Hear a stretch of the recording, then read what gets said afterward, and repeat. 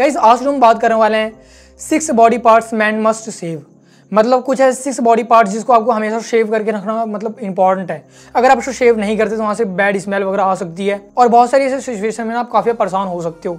तो आपको in six body parts को ना शेव करके रखना काफ़ी इंपॉर्टेंट है हमेशा। तो इस वीडियो को लास्ट देखते रहना। By the way if don't me my name is Sahil and I am here teach about man fashion grooming अगर आप इस चैनल पर नए हो तो जल्दी जल्दी चैनल सब्सक्राइब करना। साथ में बेल आइकन है, उस पर टैप करना और यानी इंस्टाग्राम पर जाकर फॉलो कर सकते हो। मेरा थोड़ा सा फ़ायदा हो जाएगा। तो हम बिना किसी तरीके वीडियो को स्टार्ट करते हैं। नंबर वन हमारे पास जो है वो है नोज़ हेयर अब यार नोज़ से ना काफ़ी सारे बंदे ऐसे होते हैं ना कि नोज़ से जो हेयर है ना वो बाहर आ रहे होते हैं। मतलब वो कितना अजीब सा और कितना गंदा सा लगता है। अब यार आप खुद ही सपोज़ करो कि मतलब आप डेट वगैरह पे गए हुए हो और आपके सामने मतलब खूबसूरत सी आपकी जो मतलब बंदी है, वो बैठी हुई है। और ऊपर से ना आपकी जो मतलब नोज़ में से आपके जो हेयर है बाहर झाँक रहे होंगे और आप कुछ खा रहे होंगे। तो भाई आप खुद ही सोचो कि मतलब कितनी ज़्यादा ऑकवर्ड सिचुएशन बन जाएगी और वो मतलब लड़की जो है ना, वो बिल्कुल भी पसंद नहीं करेगी। और वो काफ़ी गंदा ऐसा लगता है। या फिर आप कहीं पर भी ऐसे इंटरव्यू में गए हो मीटिंग में गए हो और ऐसे आपके नाक में से बाल बाहर झाँक रहे होंगे तो बहुत ज़्यादा गंदा लगता है। तो यार उसको आप क्लीन करके रखो। आपके नाक में से बाल जो है बिल्कुल बाहर नहीं आने चाहिए। नहीं तो आप बहुत जगह ना अपना जो चांस है, वो मिस कर जाओगे। अगर आपकी बात बनने वाली होगी तो बिगड़ जाएगी। तो इस चीज़ को आपको ध्यान रखना पड़ेगा आप फाइन सीजर लेके उसको कट कर सकते हो। सेकेंड हमारे पास है, वो है आर्म पिट हेयर अब यार मतलब आर्म पिट मतलब यहाँ पर जो आपके हेयर हो जाते हैं ना, उसको भी आपको शेव करना काफ़ी इंपॉर्टेंट है। मतलब इससे नुकसान क्या होता है? फ़र्स्ट बात तो इससे आपके कपड़े गंदे हो जाते हैं मतलब वो खराब हो जाते हैं, और उसके बाद जो सेकंड चीज़ होती है, वो होती है मतलब स्मेल काफ़ी आती है। मतलब गंदी गंदी बदबू वगैरह आती है अब किसी पास हो, और आपको कुछ मतलब ऐसा सीन वगैरह बना रहे हो तो उस टाइम पे आपको ये जो चीज़ है ना, वो काफ़ी डिस्टर्ब करने वाली है। तो स्मेल ना आए, और आपके जो कपड़े हैं वो ख़राब ना हो, इसके लिए आपको जो आर्म पिट वाला जो एरिया है ना, उसको आपको क्लीन करके रखना काफ़ी इंपॉर्टेंट है। इसके लिए आप ट्रिमर ले सकते हो, या फिर अगर आप चाहो रेजर लेना तो वो भी आप ले सकते हो, लेकिन आप जेंटली करना, नहीं तो फिर आप कट वगैरह लगा लोगे।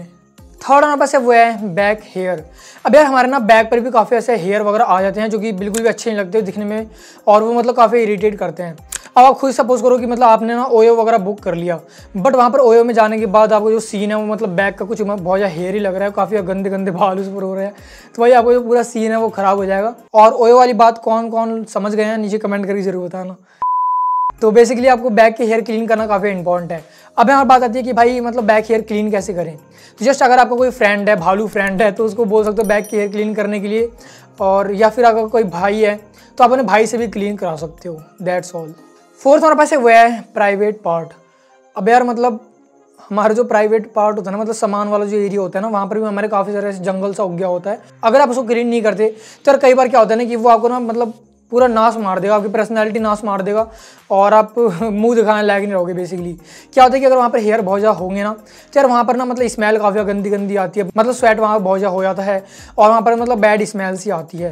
तो आपको ना अपना जो प्राइवेट पार्ट है ना, वो भी आपको क्लीन करके रखना काफ़ी इंपॉर्टेंट है। आई नो कि मतलब कुछ वैसे बंदे हैं कि मतलब वो क्लीन नहीं करते और मतलब बचपन से आज तक ऐसी है। फ़र्स्ट बात तो अगर आप इसको क्लीन नहीं करते तो यार आपको जो सामान है वो छोटा दिखाई देगा और सेकेंड बात की मतलब स्मेल बहुत ज़्यादा आएगी। और बिल्कुल भी सही चीज़ नहीं होती वो। आपको जो मतलब प्राइवेट पार्ट की भी जो हेयर है वो आपको क्लीन करके रखना काफ़ी इंपॉर्टेंट है।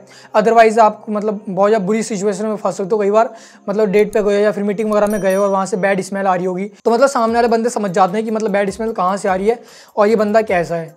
तो ऐसा सिचुएसन मत क्रिएट करो। आपको मतलब जो प्राइवेट पार्ट के हेयर है वो क्लीन करके रखना काफ़ी इंपॉर्टेंट है। और ध्यान रहे मेक श्योर कि आपको सिर्फ़ हेयर ही कट करने हैं। आप अपने उसको कट मत कर देना भैया, नहीं तो सब कुछ खत्म हो जाएगा।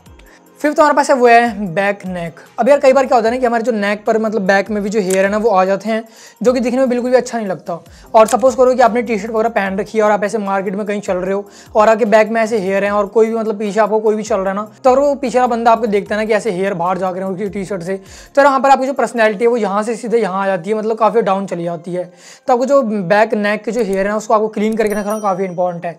इसके लिए आप कोई भी ट्रिमर वगैरह यूज़ कर सकते हो या फिर अपने भाई वगैरह से या फिर अपने फ्रेंड वगैरह से उसको क्लीन करवा सकते हो, वो ज़्यादा सही रहेगा। लेकिन अगर आपके बैक नेक पे हेयर वगैरह आ रहे हैं तो उसको क्लीन करो, आप काफ़ी सही दिखने वाले हो। और बेसिकली बहुत सारे बंदों के आ भी जाते हैं तो आपको उसको क्लीन करना काफ़ी इंपॉर्टेंट है। सिक्स एंड लास्ट हमारे पास है, वो है नेक बियर्ड अब यार बहुत सारे बंदों की ना मतलब नेक पर भी बियर्ड आ जाती है, जो कि दिखने में बिल्कुल भी सही नहीं लगता। अब यार इसकी डिसएडवांटेज ये है कि अगर आपके नेक पर बियर्ड आ जाएगी ना तो फ़र्स्ट बात इससे कि आपकी जो जॉ लाइन है, वो शार्प नहीं दिखती। अब आप खुद ही सपोज़ करो कि यहाँ मेरी बहुत ज़्यादा बियर्ड रहेगी नेक पर तो फिर मेरी जो जॉ लाइन है, बिल्कुल भी शेप में नहीं दिखाई देगी, वो मतलब बिल्कुल भी सही नहीं दिखाई देगी। बट यहाँ पर अगर आप नेक के जो हेयर है, वो क्लीन कर लो तो आपकी जो जॉ लाइन है, वो काफ़ी शार्प दिखाई देने वाली है। जैसे आप मेरी खुद यहाँ पर नोटिस कर सकते हो। तो आप खुद ही देख सकते हो मतलब जो मेरी जॉ लाइन है वो कितनी शार्प दिखाई दे रही है। और जस्ट ऐसे आपको जो नेक के हेयर है ना, वो हमेशा आपको क्लीन करके रखना काफ़ी इंपॉर्टेंट है।